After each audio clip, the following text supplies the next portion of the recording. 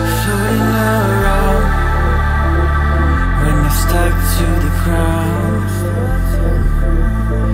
Down in one knee, I just keep asking, please take it.